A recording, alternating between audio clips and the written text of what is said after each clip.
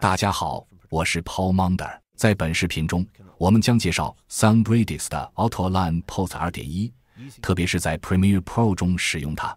Auto Align Post 可对移动位置话筒进行动态时间对准校正，从而通过消除梳状滤波来有效的混合吊杆和领夹话筒。让我们来听听一些原始的位置音讯，其中使用了两个领夹话筒和一个吊杆。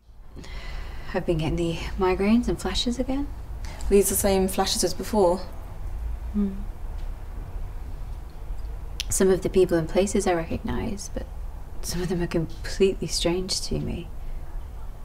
They've been getting really intense.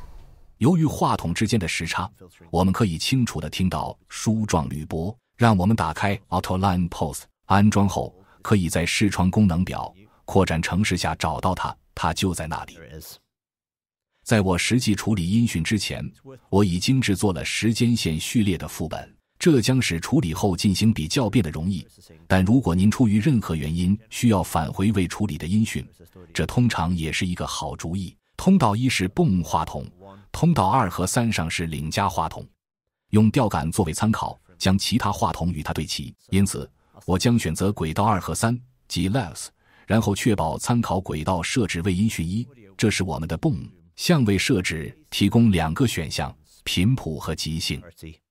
顾名思义，极性会在适当的时候翻转极性，以纠正遇到的任何差异。这样做的一个潜在缺点是，在较低频率下仍可能发生抵消。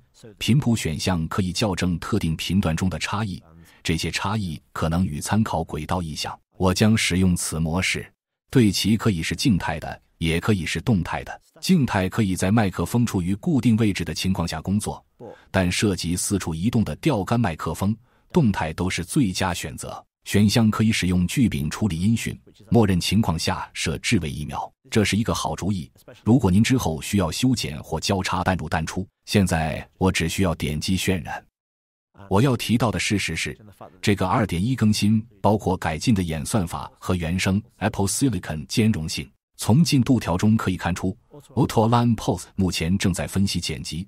如果我们缩小，它会将时间轴上的音讯替换为新渲染的版本。让我们来听听结果。 Today's been difficult. I've been getting the migraines and flashes again.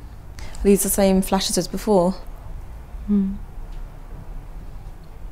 Some of the people and places I recognise, but some of them are completely strange to me. 为了进行比较，这里再次是原始音讯的一部分。 Today's been difficult.